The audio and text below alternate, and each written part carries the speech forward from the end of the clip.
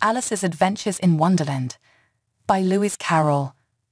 Brought to by BeezyBeezHoney.net. BZB's Honey. Sleep better. Feel better. Be better. Chapter 10. The Lobster Quadrille. The Mock Turtle sighed deeply and drew the back of one flapper across his eyes. He looked at Alice and tried to speak, but for a minute or two sobs choked his voice. Same as if he had a bone in his throat, said the Gryphon, and it set to work shaking him and punching him in the back. At last the Mock Turtle recovered his voice, and with tears running down his cheeks, he went on again colon. You may not have lived much under the sea. I haven't, said Alice, and perhaps you were never even introduced to a lobster. Alice began to say, I once tasted, but checked herself hastily, and said, No, never so you can have no idea what a delightful thing a lobster quadrille is. No, indeed, said Alice. What sort of a dance is it? Why, said the Gryphon, you first form into a line along the seashore. Two lines, cried the Mock Turtle.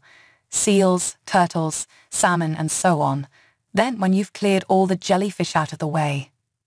That generally takes some time, interrupted the Gryphon. You advance twice. Each with a lobster as a partner, cried the Gryphon. Of course, the Mock Turtle said, advance twice, set to partners. Change lobsters and retire in same order, continued the Gryphon. Then, you know, the Mock Turtle went on. You throw the... The lobsters, shouted the Gryphon, with a bound into the air. As far out to sea as you can, Swim after them, screamed the Gryphon. Turn a somersault in the sea, cried the Mock Turtle, capering wildly about. Change lobsters again, yelled the Gryphon at the top of its voice.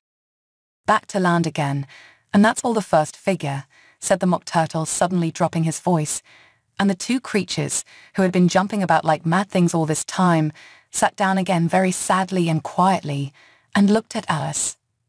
It must be a very pretty dance, said Alice timidly. Would you like to see a little of it? said the Mock Turtle. Very much indeed, said Alice. Come, let's try the first figure, said the Mock Turtle to the Gryphon. We can do without lobsters, you know. Which shall sing. Oh, you sing, said the Gryphon. I've forgotten the words. So they began solemnly dancing round and round Alice, every now and then treading on her toes when they passed too close, and waving their forepaws to mark the time, while the mock turtle sang this, very slowly and sadly colon. Will you walk a little faster? said a whiting to a snail. There's a porpoise close behind us, and he's treading on my tail. See how eagerly the lobsters and the turtles all advance. They are waiting on the shingle. Will you come and join the dance? Will you, won't you, will you, won't you, will you join the dance? Will you, won't you, will you, won't you, won't you join the dance? You can really have no notion how delightful it will be when they take us up and throw us with the lobsters apt to sea. But the snail replied, too far, too far, and gave a look askance. Said he thanked the whiting kindly, but he would not join the dance. Would not, could not, would not, could not, would not join the dance. Would not, could not, would not, could not, could not join the dance. What matters it how far we go? His scaly friend replied. There is another shore, you know, upon the other side. The further off from England the nearer is to France. Then turn not pale, beloved snail, but come and join the dance. Will you, won't you, will you, won't you, will you join the dance? Will you, won't you, will you, won't you, won't you join the dance? Thank you, it's a very interesting dance to watch, said Alice, feeling very glad that it was over at last. And I do so like that curious song about the whiting. Oh, as to the whiting, said the Mock Turtle. They, you've seen them, of course. Yes, said Alice. I've often seen them at Din, she checked herself hastily. I don't know where Din may be, said the Mock Turtle, but if you've seen them so often, of course you know what they're like. I believe so, Alice replied thoughtfully. They have their tails in their mouths, and they're all over crumbs. You're wrong about the crumbs, said the Mock Turtle. Crumbs would all wash off in the sea. But they have their tails in their mouths, and the reason is here the Mock Turtle yawned and shut his eyes tell her about the reason and all that, he said to the Gryphon. The reason is, said the Gryphon, that they would go with the lobsters to the dance. So they got thrown out to sea, so they had to fall a long way. So they got their tails fast in their mouths. So they couldn't get them out again. That's all. Thank you, said Alice. It's very interesting. I never knew so much about a whiting before. I can tell you more than that, if you like, said the Gryphon. Do you know why it's called a whiting? I never thought about it, said Alice. Why? It does the boots and shoes, the Gryphon replied very solemnly. Alice was thoroughly puzzled. Does the boots and shoes? She repeated in a wondering tone. Why, what are your shoes done with? said the Gryphon. I mean, what makes them so shiny? Alice looked down at them and considered a little before she gave her answer. They're done with blacking, I believe. Boots and shoes under the sea, the Gryphon went on in a deep voice, are done with a whiting. Now you know. And what are they made of? Alice asked in a tone of great curiosity. Soles and eels, of course, the Gryphon replied rather impatiently. Any shrimp could have told you that. If I'd been the whiting, said Alice, whose thoughts were still running on the song, I'd have said to the porpoise, Keep back, please. We don't want you with us. They were obliged to have him with them. The mock turtle said, no wise fish would go anywhere without a porpoise. Wouldn't it really? said Alice in a tone of great surprise. Of course not, said the Mock Turtle. Why, if a fish came to me and told me he was going a journey, I should say, with what purpose? Don't you mean purpose? said Alice. I mean what I say, the Mock Turtle replied in an offended tone, and the Gryphon added, Come, let's hear some of your adventures. I could tell you my adventures, beginning from this morning, said Alice a little timidly, but it's no use going back to yesterday, because I was a different person then. Explain all that, said the Mock Turtle. No, no. The adventures first, said the Gryphon in an impatient tone. Explanations take such a dreadful time. So Alice began telling them her adventures from the time when she first saw the white rabbit. She was a little nervous about it just at first. The two creatures got so close to her, one on each side, and opened their eyes and mouths so very wide, but she gained courage as she went on.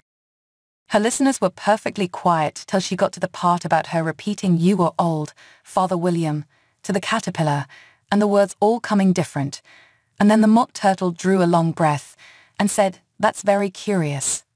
It's all about as curious as it can be, said the Gryphon. It all came different. The mock turtle repeated thoughtfully, I should like to hear her try and repeat something now, Tell her to begin. He looked at the Gryphon as if he thought it had some kind of authority over Alice. Stand up and repeat, tis the voice of the sluggard, said the Gryphon. How the creatures order one about and make one repeat lessons. Thought Alice, I might as well be at school at once. However, she got up and began to repeat it, but her head was so full of the lobster quadrille that she hardly knew what she was saying, and the words came very queer indeed, colon. Tis the voice of the lobster. I heard him declare, You have baked me too brown. I must sugar my hair. As a duck with its eyelids, so he with his nose, trims his belt and his buttons, and turns out his toes. Later editions continued as follows. When the sands are all dry, he is gay as a lark, and will talk in contemptuous tones of the shark. But when the tide rises and sharks are around, his voice has a timid and tremulous sound. That's different from what I used to say when I was a child, said the Gryphon. Well, I never heard it before, said the Mock Turtle, but it sounds uncommon nonsense. Alice said nothing. She had sat down with her face in her hands, wondering if anything would ever happen in a natural way again. I should like to have it explained, said the Mock Turtle. She can't explain it, said the Gryphon hastily. Go on with the next verse. But about his toes. The mock turtle persisted. How could he turn them out with his nose, you know? It's the first position in dancing, Alice said, but was dreadfully puzzled by the whole thing and longed to change the subject. Go on with the next verse. The Gryphon repeated impatiently. It begins I passed by his garden. Alice did not dare to disobey, but she felt sure it would all come wrong, and she went on in a trembling voice colon. I passed by his garden and marked, with one eye, how the owl and the panther were sharing a pie. Later editions continued as follows. The panther took pie crust and gravy and meat, while the owl had the dish as its share of the treat. When the pie was all finished, the owl, as a boon, was kindly permitted to pocket the spoon, while the panther received knife and fork with a growl, and concluded the banquet what is the use of repeating all that stuff? The Mock Turtle interrupted, if you don't explain it as you go on. It's by far the most confusing thing I'd ever heard. Yes, I think you'd better leave off, said the Gryphon, and Alice was only too glad to do so. Shall we try another figure of the lobster quadrille? The Gryphon went on, or would you like the Mock Turtle to sing you a song? Oh, a song, please, if the Mock Turtle would be so kind, Alice replied, so eagerly that the Gryphon said, in a rather offended tone, H.M., no accounting for tastes. Sing her turtle soup, will you, old fellow? The Mock Turtle sighed deeply and began, in a voice sometimes choked with sobs, to sing this colon. Beautiful soup, so rich and green, waiting in a hot tureen. Who for such dainties would not stoop? Soup of the evening, beautiful soup, Soup of the evening, beautiful soup. Bo, beautiful sue, oop. Bo, beautiful sue, hoop. Sue, hoop of the e, e, evening. Beautiful, beautiful soup. Beautiful soup. Who cares for fish, game, or any other dish? Who would not give all else for two p? Pennyworth only of beautiful soup. Pennyworth only of beautiful soup. Bo, beautiful sue, oop. Bo, beautiful Sue, oop. Sue, oop of the E, E, evening. Beautiful, beauty, false soup. Chorus again, cried the Gryphon, and the Mock Turtle had just begun to repeat it, when a cry of the trial's beginning was heard in the distance. Come on, cried the Gryphon, and taking Alice by the hand, it hurried off, without waiting for the end of the song. What trial is it?